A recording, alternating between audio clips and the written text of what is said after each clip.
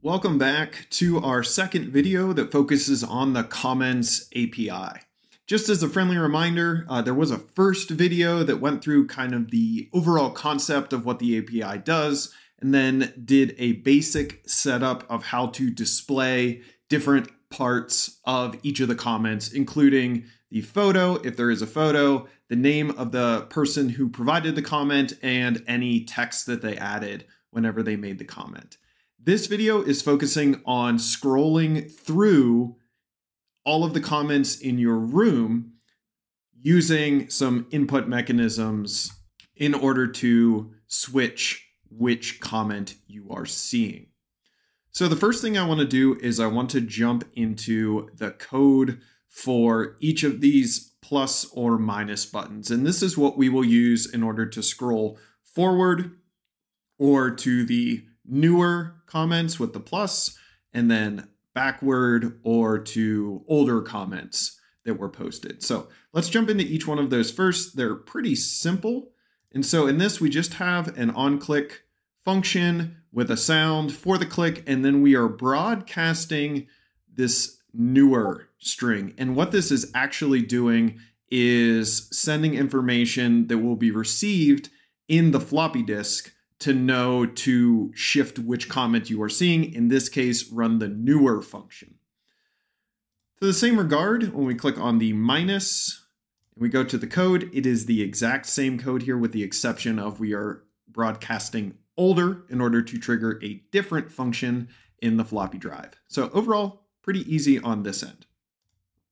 Now, the critical part is that we want to jump into the floppy disk and we want to add code to the newer and older functions that we've we've got. So I've got them down here just to make sure my syntax was correct.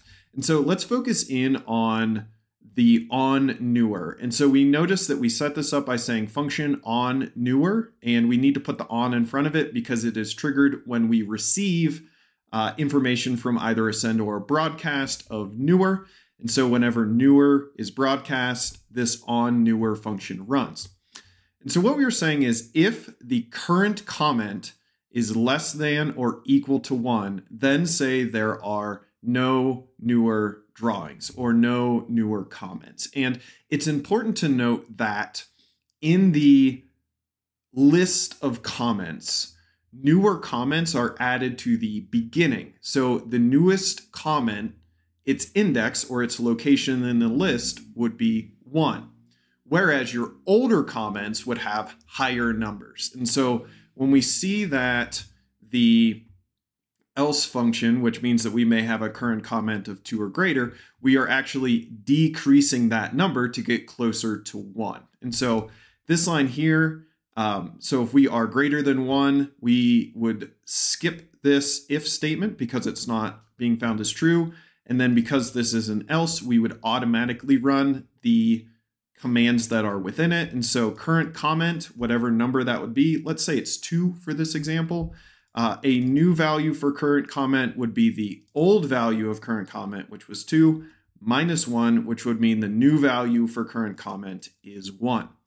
Then we're going to run the show comment function for that new current comment. And we already created the show comment function in our last video. And so that is all set up to display the photo, the username, and then also the text of that particular comment on the appropriate items in the room. So just to give a quick summary of what on newer does, if it is the newest comment, then it will say no new drawings. If it is not the newest comment, it will run this else statement, which will shift it one comment newer by decreasing the index. Function on older is very similar, it just moves in the other direction. So if current comment is greater than or equal to the number of comments that you have, what that means is you are at the oldest comment. And so this will say no older drawings because you're at the end of the list. Now, if you are earlier in the list, as in not the oldest comment, the else function will run here. And so let's say that we were at comment three and there are six total comments. We would say that the current comment, this one right here, is three, we would then add one to it, which would make it four, and that would reassign current comment to be that new value of four. We would then run show comment on that new comment, which is four, which would show you a one older comment in the list. Now, if this is kind of confusing, I totally understand that. The concept of lists of things are a bit more complicated than some other things in rooms. And so if you're not really 100% sure, this is copy and pastable. And the thing to consider is you just want to make sure that you are focusing on all of the variable names and the basic setup, and then it should work within your room. But this video is about kind of talking through what each of the items does, how it works, and so on and so forth. So at this point, we should be able to click check. And if we go into our room, uh, there's a one thing I want to note. If you notice, the minus and the plus are automatically showing no older and no newer drawings. And that is because we didn't really uh, kind of populate the comments yet. And so uh, it would be appropriate for these to be hidden until I click the floppy drive, uh, which would bring up the comments. But for visual purposes, I just wanted to leave them in there. So whenever I click the floppy drive, you can see that this will display the latest comment. And so what that means is if I press the plus, we should see no newer comments, which we do.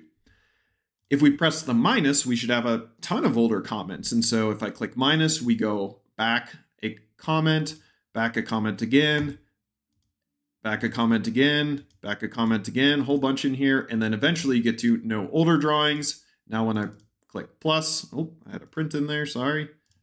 And we can see that that, just for validation, the comment index is going down as we go newer, so that's a nice validation there.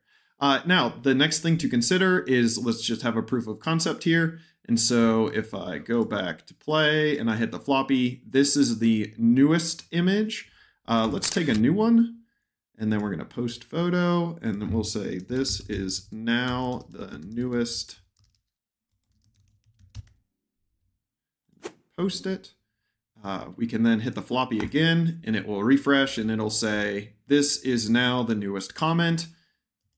And we can verify that it is now first in the list.